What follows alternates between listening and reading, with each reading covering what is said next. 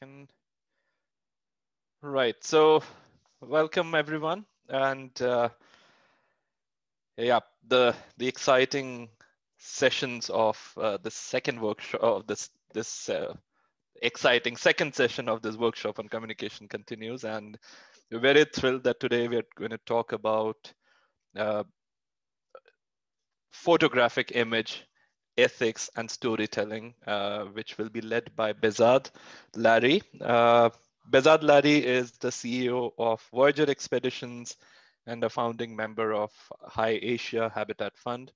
Apart from being an avid explorer, Behzad is also uh, a, a, very special uh, photographer. He specializes in documenting remote reaches of the world. Uh, he also happens to be a fellow of the Royal Geographical Society and a fellow of the Royal Asiatic Society. Um, so Behzad will be leading the first half, uh, the first major segment of the uh, workshop today. And then we also are uh, grateful uh, to Joanna van Gruisen, who's kindly agreed to, um, to lead the second part, where we'll be talking a little bit about ethics and the changing perspectives of using uh, using photographs and videos and visual images uh, in, in, in short as a tool for communication. Um, I think uh, with, with that, I'd like to pass it on to Behzad. Behzad, over to you, please. Hi, everyone. It's great to be back on another one of the Snow Leopard Network's um, modules. And I'm really looking forward to showing um, some of my images and then talking you through um, my photographic process and um, how I feel about storytelling with photography. Um, can you guys see my slide? Yes. Uh, okay, perfect. So I'll go through them slowly. I'm uh, in Ladakh at the moment, and so my internet connection is not the fastest. So hopefully um, these will go well if they're not. You know. The start off um, for me, you know, um, I've been photographing snow leopards now for maybe uh, six and a half, seven years, and I've just been incredibly lucky to work with uh, some of the finest snow leopard experts anywhere, and um, they're also brilliant conservationists. They know how to um, track uh, these magnificent cats, and then they're just a treasure trove of knowledge. So you know, whatever images you see here, it's it's not just like I'm out there in the field by myself um, running into snow leopards. There's a whole crew that allows for um, these images to um, be made. And so the goal today is to really just go into um, how photography can be an incredible um, tool in your communication toolbox. But with um, any powerful tools, you know, you, you have to be really careful about how you use it and give it enough forethought and um, planning so that it is, in fact, something that is helping you. Because just like any tool, it can also cause great harm. And so, as um, the majority of the people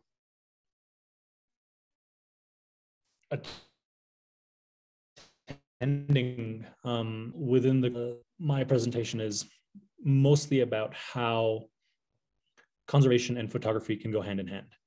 The well, basically, I will walk you through a series of images um, that I've taken while um, talking about storytelling, while talking about using um, the wildlife of a place, while using the uh, landscapes of a place and while using the communities that you work with to weave together a story to your audience. So because we specialize, so I, I, run a travel company and then I also work with a nonprofit. Um, through our travel company, we primarily focus on conservation tourism. So um, we work in snow leopard landscapes in uh, India, in the Indian Himalayas, across um, the central Tian Shan in Kyrgyzstan, and then we're also working in Mongolia and Tajikistan.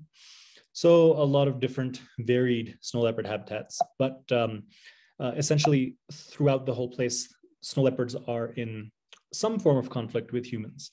And so for us, the snow leopard tourism helps um, create both an audience that is um, supportive of snow leopards, but also creates an opportunity for the local communities to be able to make a livelihood that is um, much more dependent on the snow leopard and uh, is allows them to live a much um, more conflict-free life with snow leopards or wolves or bears in their neighborhoods.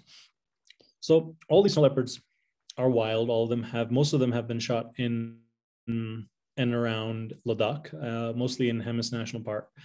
The sightings over here can be anywhere from a kilometer to two kilometers to you know 400 meters if you're really lucky. And i spend almost um, two and a half to three months a year in the field um, tracking these cats with our team and photographing them. So my success rate is vastly skewed from um, someone who might just be visiting the national park for a week and might just see one um, at a more normal distance. The goal of all these images um, for us is essentially to use them as a storytelling tool. I've um, initially when I first started photography, I kept working with um, when I started photography for snow leopards. That is, so when I started um, uh, searching for snow leopards, started going out on these tours, trying to track them, working with the local community. It was always this pressing desire to get a close shot of a snow leopard. But slowly, as the snow leopard shots started coming in, it was no longer really about the snow leopard itself. It was more about how can these shots of the snow leopard and um, other surrounding shots allow um, us to really start tackling our issues, um, which were human wildlife conflict. So for us, um, we always stress that you need to know the why of telling your story. If if you are telling a story about the snow leopard, you know what is your story? Is it just about the snow leopard? Is it about um, some sort of an issue the snow leopards are facing? Is it more about the general habitat that the snow leopards are in? Is about um, issues the communities face um, because they share landscape and territory with these animals? Is it, you know, are they causing issues with domestic livestock loss or um, lots of financial damage? So why is it important? What is the story and why is it important? And then who are you telling the story to? Who's your audience? Why would they care about this issue? And then finally, once they do care about this issue, what do you want them to do? So all of you are you know representing different organizations and work with different aspects of snow leopard landscapes. So each of you will have a distinct what for what your story is and you'll have a distinct why for its importance. You might also have very different audiences. Some of you might be appealing to fundraisers. Or some of you might be appealing to um, uh, maybe big large institutional donors maybe small um, small private individual donors owners who might give small um, donations. And then essentially, if, if you're looking at photography as a communication tool, you clearly, clearly want to engage them in some way. So with that engagement, you might have a different um, call to action. What do you want them to do? Do you want them to call up their friends to talk about this issue? Do you want them to um, just simply donate? Do you want them to engage in a more substantiative? Do you want them to come over to volunteer? All of all of need to combine in your process before going out on shoots or putting together content. You need to look at the end goal and um, create this narrative thread through the whole thing.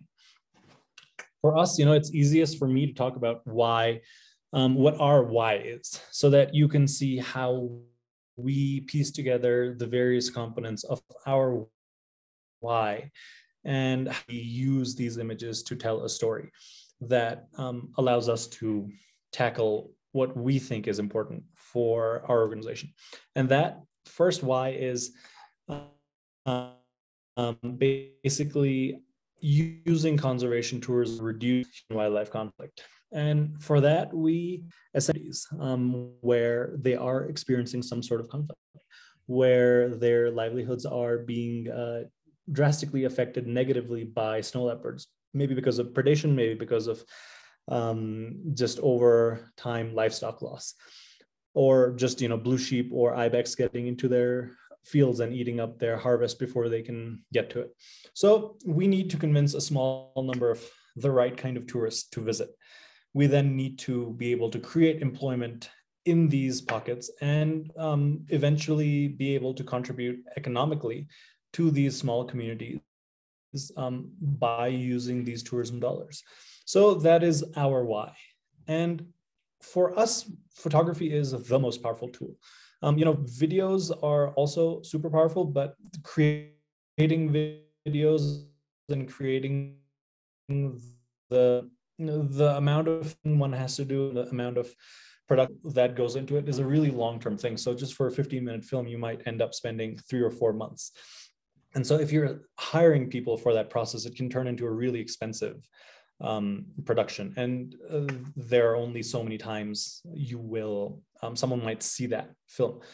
But continuously having new images go out is a great way to engage your audience. So for us, we use these images to essentially educate people who would be supportive of either our tourism work or our nonprofit work what um, the issue is, where this issue is, and who are main in the snow leopards are the most charismatic of those wild animals.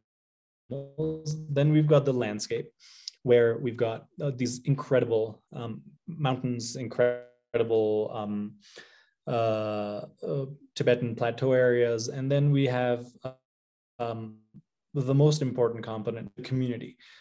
The story basically ties together when the community and the wildlife come together. For us, you know, images like this, let me just give you some background on this image. We were observing the snow leopard for several hours and was much higher on the slope that is directly behind it. Um, so the snow leopard um, had a few blue sheep it was looking at. It tried to um, stalk them unsuccessfully. It um, eventually then um, just decided to take a nap instead since the hunt was going nowhere. And then all of a sudden, you know, three or four hours later, while it was napping, this cow um, wandered down much below it, sort of coming down into this creek area on the uh, near side of this fence. And so the cow was basically returning from its pasture and going back to the village of Rumbak, um, which is where it lives. And it just so happened that the snow leopard also saw this cow and decided that it would try to stalk this cow instead. So the snow leopard came down. Um, it started um, moving down towards this, and we were, I was there with my team, and there were maybe 15 or 20 other people there, some locals, some tourists, and um, all of us. As soon as we saw it sort of running down through the screen, we all realized what was going to happen. And so one of the locals quickly started running down as well from our side of the slope because we didn't we didn't want it killing someone's cow. Um, there's just no reason for it to do it. But if if it can get an easy meal. And so the snow leopard basically stalked this cow up until the man managed to get down to the creek. And it was his cow. So he whistled and the cow looked at him. The snow leopard looked at him. And then the snow leopard just sat down. And then the cow slowly started crossing the river. And the cow never knew there was a snow leopard behind it the whole time. So uh, this is just such an interesting image to me because it shows um, the issue, right? So the the cow represents clearly the human element of this issue. The wildlife is represented. And then we've got this wonderful barrier um, in between, which is the chain link fence that has been put in by the local wildlife department to actually stop blue sheep from coming into these fields to eat the harvest. And so you've got this just this perfect um, conjunction of uh, this issue in one photograph. And I like using it because the cow escaped. And um, that basically showed that the problem can be solved. And, you know, we got to see a snow leopard, we got to see what might happen, and we got to see what a positive outcome of that scenario can be. So just a good little image. So through photography, essentially, we we want to create a small demand for the right kind of tourist. We need the type of tourist that considers um, visiting these places uh, as uh, both both an experience that they really want to do, but also an experience they want to partake in because of the positive impact it can have on this ecosystem, on this wildlife, and on a very critical issue that is um, prevalent across all of high Asia. So, in in terms of experience, you know, while we document um, just because you know it, it is the most charismatic of the wildlife here, that doesn't mean we don't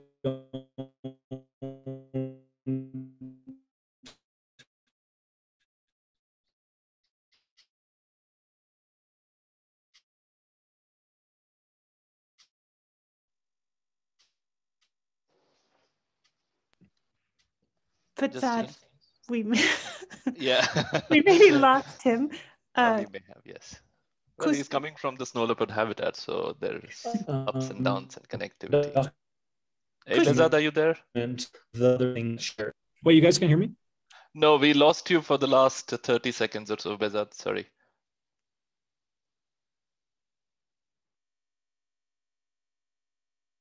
Ah, uh, so we lost him.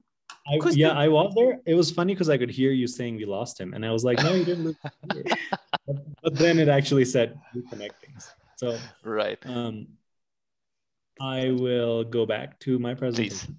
Thank you. Sure, and if so sorry if that happens again. Struggle again, uh, Kaustubh. Maybe can you get his slides ready um, as a backup in case? Sure. Yep. Thank you. Um, I think it's just my connection. So I might, if I drop entirely, you'll also lose my audio. So we'll, we'll see. I'll just start You know, we need the right type of tourists, and so for having the right type of tourists, they need to envision the right type of experience. If they come only for the snow leopard, it is problematic because the snow leopard might be seen, the snow leopard might not be seen. So, in order to tell the whole story, we need to consider the entire ecosystem, which for us includes everything from the smallest pika. And so this pika over here is taking some forage home to stock up for the winter. And it also includes um, everything else in the landscape. So everything from the people who share this habitat to the ibex to the blue sheep, everything is part of the story. If we were to only use snow leopards in the narrative, what we would be creating is a uh, demand for snow leopards, which is not really something that everyone can always deliver. And it would create the wrong kind of um, uh, demand also because people will come specifically to see the snow leopard and nothing else because they haven't been informed about the other options there. So when you include the rest of the ecosystem in the story, then our audience is better informed. It's um, better understanding of what the entire experience is. And it's um, just also prepared to enjoy everything for what it is and not just come for one animal. The appeal to this um, audience basically needs to um, go through not just the joys of um, what a snow leopard experience might be like for us, or um, if you're looking at fundraising or uh, you camera or um, field teams or anything else which requires some sort of it's telling me my internet connection's unstable. Am i still there guys? Yes okay excellent. So for us you know um, if, if we were to just show pictures of snow leopards and we could just set up a bunch of camera traps and have a constant flow of snow leopard images but what that would do is just constantly show the same content over and over and over and over. And it wouldn't show its habitat. It wouldn't show it from a much more macro level. It would also not give a sense of scale of perspective of where you are working as a field team or where your rangers are working or where you are conducting these camera trap surveys. So you can say, I need more camera traps in order to do a population assessment. But what does that really mean? You know, like this is the kind of terrain you are putting those camera traps in. This is what someone from your team is going to have to climb. This is where I'm going to have to spend a few nights as they put enough camera traps in this area. And so this is a picture on the this is the Panj River that separates Afghanistan from Tajikistan. So I took this picture from Tajikistan looking towards Afghanistan. And so it's all prime snow leopard habitat. But so often donors, um, funders, and tourists don't get the whole perspective because we are showing the story really up close. If we are just showing people's faces, if we're just showing really tight shots of um, snow leopards walking in front of camera traps, we miss out on scale and context. You know, someone can kind of stand and see, oh wow, I it must be really hard to go there. It must be really hard to set up camera traps there. It must be really hard um, to go back when your camera traps are covered in three feet of snow and you can no longer find them. So you can tell a much broader story, which can actually um, be much more engaging to the person seeing it. Um, if you uh, either zoom in or zoom out from what you normally do.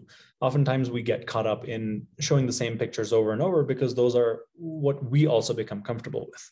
From a tourism perspective, from us, it's important for us to show our customers this landscape so that they can also have a more truer understanding of the difficulty of going there, of not expecting luxury, of not expecting uh, ease, of actually mentally becoming much more conditioned to experiencing a trip that is truly an expedition. So it's it's all about context.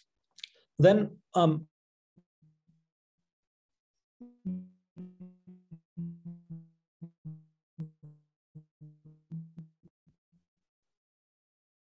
much of this all the time to press or to journalists. Then there has to be a, this element of um, uh, honesty, of ethics, of how the image was captured. If we are basically showing that, um, you know, like we're showing pictures of blue sheep or we're showing pictures of snow leopards, and they end up being um, in very controlled conditions and not out in the wild, then it basically creates a false um, perspective. It allows people to believe that they can get something of that nature. Um, easily. Often I take these images. I'm, I'm, showing you most of my images. We've got one from um, our one of my partners here, Rashid. But all these images are mine. And the reason I have a lot of grid field. And so we always let our guests know that the images that they're seeing are not representative of all tours. These are images shot by people that are consistently there. So on on the other hand, if you convert that to um, something where you're just dealing with donors or where you're engaging with fundraisers, um, you might want to also show some of um, what goes on behind the scenes. You know, instead of simply showing what your main beneficiary looks like, a snow leopard in front of a camera trap, you might want to give them an honest perspective of what a day in the office is like, what a day in the field is like. All these things basically connect your audience to a more authentic understanding it's like. Sometimes grant writing sometimes it's actually going out in the field and having meetings with the community. Sometimes it's you know much more outdoorsy and uh, filled with population surveys. The more you document of what goes on from a 360 degree perspective the more honest and open you are about not just what you want to fundraise for, but really about other things as well, which just overall inspires trust and inspires confidence and doesn't come away as just being um, something that's been done for face value because as a nonprofit you're supposed to, or as a tour operator you're supposed to. So this um, uh, ability to basically show something that is beyond just the PR stuff or the marketing stuff is an important aspect. So, you know, for us, one of the honesty factors is also just showing um, the other animals around. It's not just all about the snow leopard. It's also about the blue sheep. It's also about the pikas. Um, and it's also about more blue sheep. So we do see a lot of blue sheep. The um, goal then, oh, here's a poll.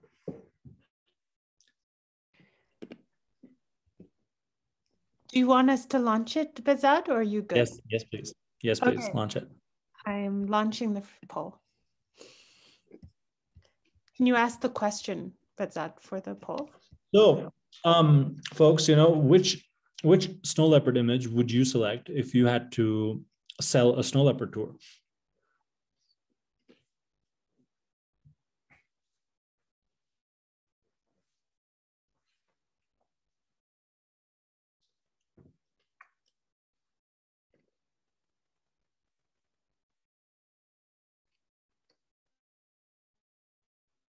There's no right or wrong answer, right, Behzad? It's it's all right. Well, you know, it's just all about perspective because all of these images are used to advertise snow leopard tours. If you were to do a Google search, you would find all of them. But then I'll just give some context about each of them.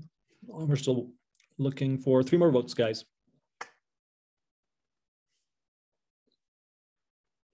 One more vote.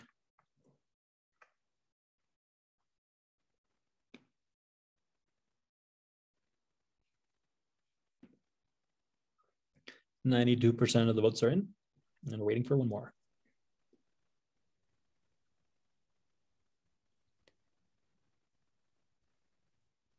Shall we share, Behzad? Go ahead. Go ahead. All right, that's pretty interesting. So uh, I will just so basically seven people voted for image one, four for image two, and one for image three. No one voted for the last one. So I'm just gonna stop sharing these results and then close this and then take you to this screen. So the first um, images of a wild snow leopard, and these are, this is a super close sighting.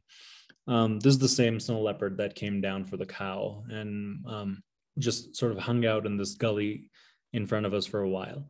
The second snow leopard is Jamila, and she lives at the Zurich Zoo. Um, she is often photographed, and it's a good habitat in Switzerland, with uh, especially in the winter for taking pictures of snow leopards. And of course, um, it is much closer. You can count her whiskers, you can see the texture of her eyes. Um, one sec.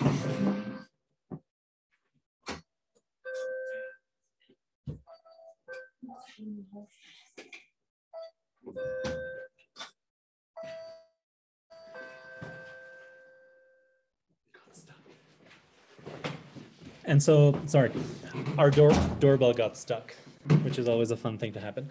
Um, so then um, we've got the third one, which is actually at a game farm called the Triple D Ranch in Montana.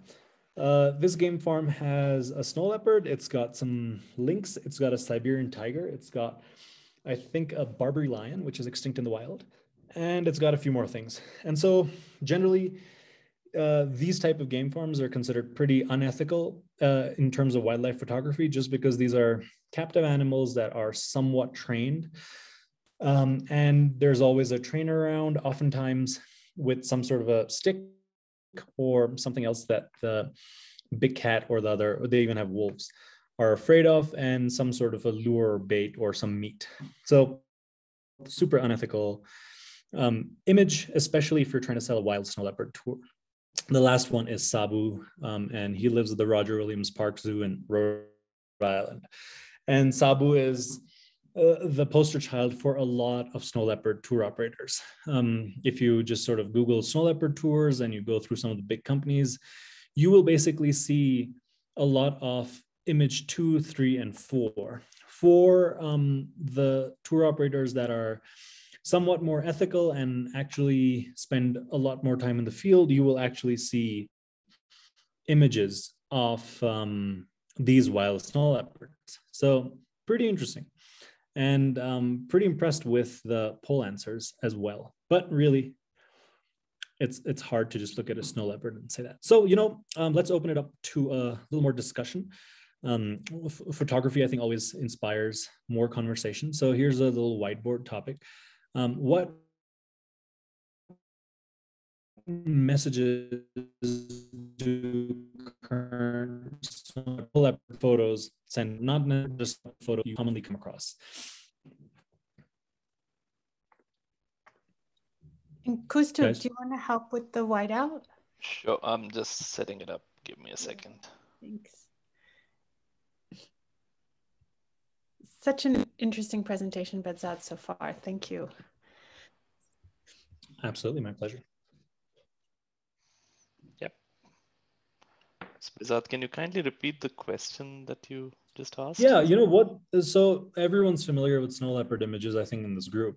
And so what uh, message do current snow leopard pictures send out? And you can also talk about, you know, how you view the message that snow leopard pictures are sending out, but also how you think your audience um, views it. So, you know, I would describe snow leopard images basically in three categories. Um, we see a lot of camera trap images that um, all the major organizations that work with snow leopards put out of snow leopards. We see um, images um, of wild snow leopards that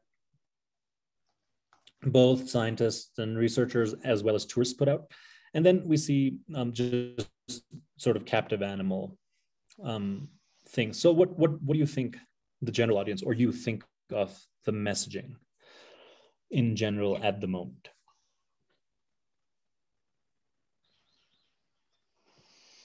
Okay, um, we have one. So I can point. also read out the chat. Yeah, please. That'll be great. Yeah. yeah. So let's see. Welcome. Livestock predation. Uh, one of the things we mentioned last week was how many zoo pics there are on social media and how does that influence the viewer yeah and and the unrealistic um, blue eyes when you often see it super up close the yeah so that's a good point how do zoo images affect um, the perception of snow leopards? Does anyone have thoughts on how that actually affects or influences the viewer, zoo images?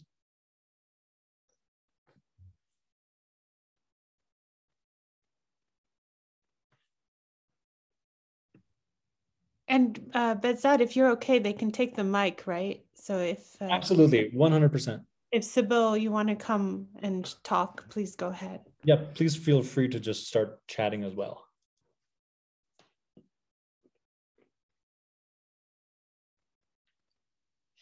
It really makes snow leopard seem so accessible, at least to the general public, who doesn't realize what the terrain is like and what your, real chances of getting shots like that are, um, Aliana says.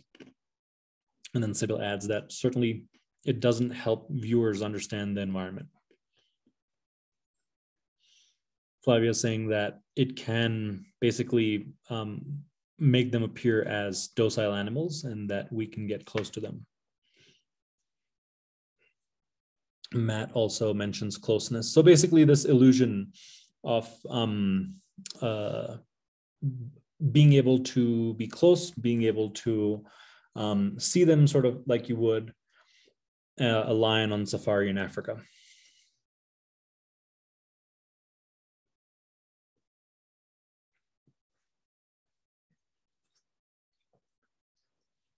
And then Harshad also adds the closeness factor.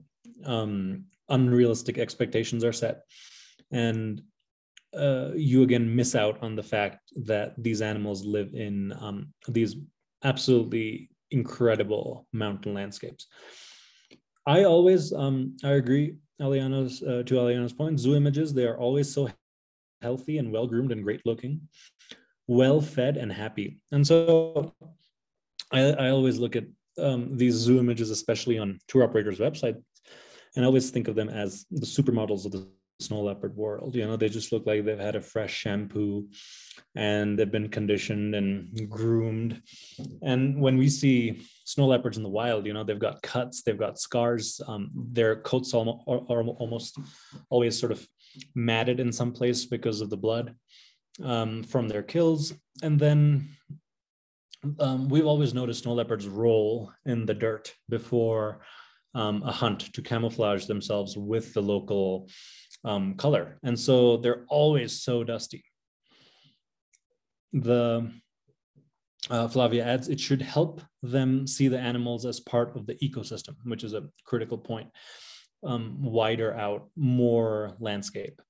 Um, Sybil adds, also focus is on cuteness and can send the wrong message. Example, picture of a snow leopard chewing its tail. People think it's cute, but it's a sign of stress in captivity.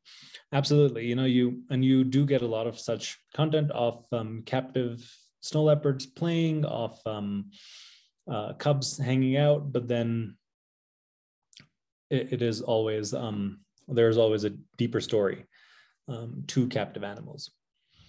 Uh, Joanna makes the a really strong point. Um, it can also encourage unethical behavior, example baiting, in order to try to replicate such images. And so that is oftentimes one of the pressures of putting out these supermodel shots of um, uh, snow leopards when you are trying to sell a tour. Because then um, for a lot of tour operators uh, who use images like these, they've already set a pretty unrealistic expectation then they have the pressure to perform when clients show up. So on the other hand, if you show a variety of images, if you show everything from a one kilometer snow leopard to a um, 500 meter snow leopard, and then you basically say, hey, it can be anywhere amongst this, or you can see no snow leopard, and that is also okay because it is uh, one of the hardest animals to see. So um, pretty much, I think everyone is on the same page around this. Shami says narratives around snow leopard are very monolithic. It either shows them in very charismatic light or in a negative light. These binaries don't explore multifaceted layers. Very true. It is um, if if you're looking at it as a an animal that's just cute um, or, or nice or friendly, or it is looking you're looking at it as um, something that has caused uh, enormous amount of destruction to remote communities in terms of livestock damage, in terms of um, financial damage caused by that. So yes, it, especially if you go into communities and you listen to them talk about the snow leopard, it can seem to be very, very binary.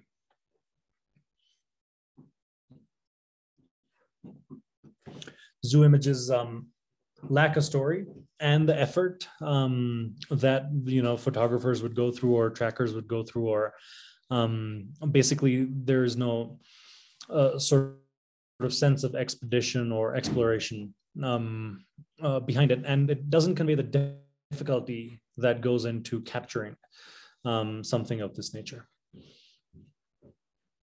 These are pretty great points. And what um, so a lot of these are you know very accurate messages that do go out.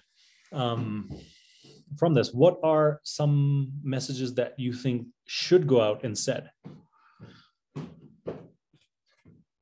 Like i said it may encourage some kind of people wanting to have them like in montana like tigers um, yeah um, exotic animals as pets or other people trying to sell photo ops with them. Have them around for people who want pictures and don't see them in the wild. And you know that is exactly what game farms do.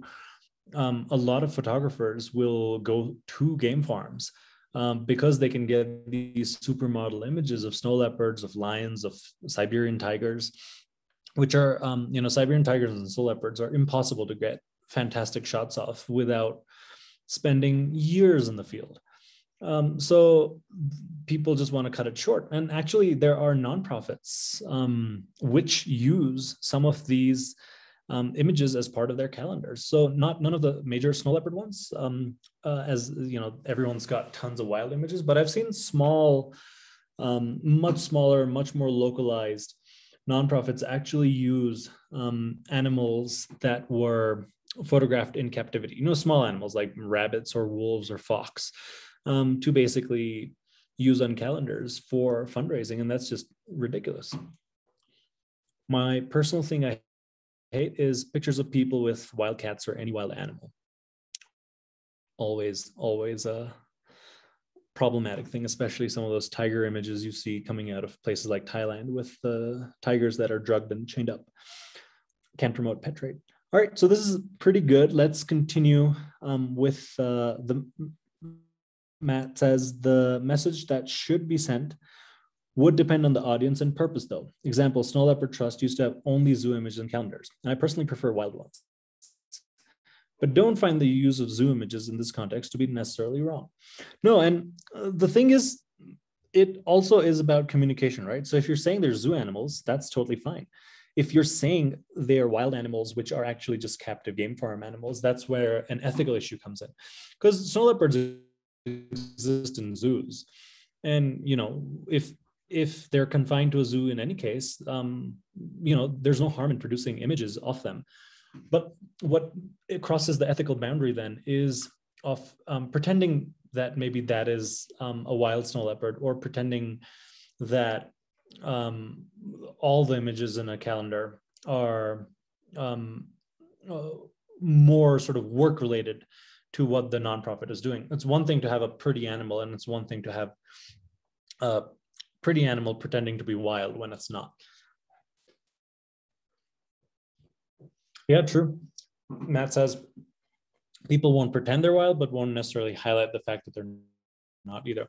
And so I think that does come down to um, more communication and being more honest and being more upfront. And is just something that is also um, uh, maybe a goal that we can all set for ourselves within our institutions and our organizations of um, reflecting what actually happens and what goes on in the field and um, to worry less about the snow leopard image and also focus more on the other aspects of the story.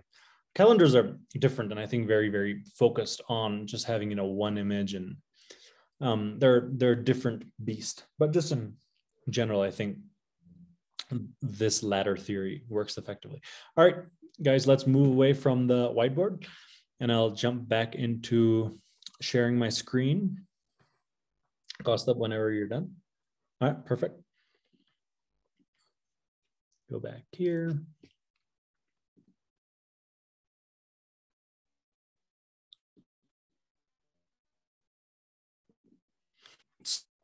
Kind of went through this in between, but we will return to it in the next whiteboard, which we'll combine with another question.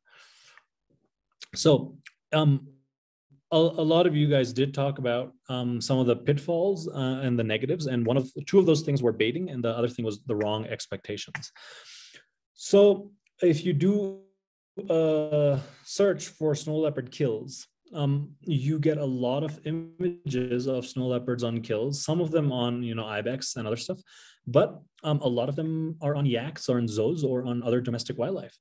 And so what it can indicate is um, that domestic livestock are being killed and that people are hanging out there photographing it. And whether or not baiting is involved, it does um, give a pretty um, negative and uh, detrimental look to this stuff because you know the whole idea of, of um, snow leopard tourism for us is that domestic animals aren't killed that we are actually um, able to either reduce dependence on livestock or um, able to both reduce dependence on livestock and create the proper infrastructure for securing livestock from getting eaten by wolves or bears or snow leopards. So, you know, predator-proof corrals or um, just better ways to uh, keep the herds and flocks secure. So if if you start googling just general Google searches and you start getting um, these sort of images, then it also creates this expectation in someone's mind that it is in fact easy to see a snow leopard on a kill.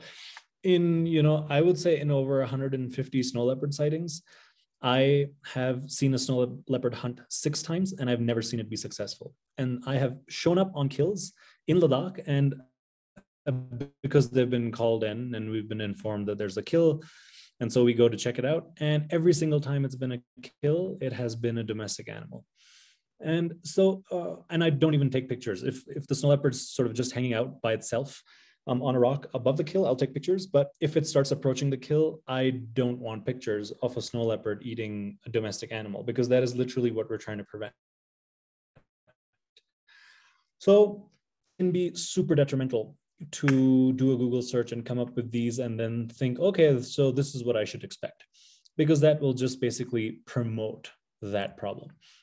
The other thing then is if the demand keeps growing without the ethical boundaries um, that we're discussing, it can create um, a negative impact um, because of overtourism, because of damage to sensitive ecosystems, because of rising pressures of um, tour operators needing to perform for tourists. And so, you know, the majority of tour operators operating in tour in in snow leopard landscapes are just commercial entities. There's no conservation element. There's no um, uh, other motive than simply uh, to be a travel company. And so that can be problematic. And so it all comes back down to the images you use to communicate. Because if you're using the right images, if you're setting the right expectations, you will have the results that you need. And if you put everything out there, you might start getting results that you did not envision. And I, I realize that this might not translate um, entirely to simply engaging with fundraisers or donors or using photography in that kind of communication, but um, tourism will um, increase uh, gradually across snow leopard landscapes. And so I think it's very important for um, nonprofits to um, be uh, keep this in mind and to uh, sort of keep an eye out for preventing this. Uh, uh, you know, threw in this little picture of a tiger um, because um, this is not what people should expect. This is, you know, a sort of classic safari image of a wild animal that a lot of photographers spend a lot of time and money trying to get. And if this is what they are um, expecting with um, snow leopard tours or tours to really wild remote habitats, even Siberian tigers, it can be problematic. And so as storytellers, it's our job to control imagery. And if we are using imagery, like we use, you know, many of my close-up snow leopard shots, but I always talk about um, uh, the special circumstances for those shots or how rare it is to see that. And we use all, all of my really far away and distant shots as well to set this balance.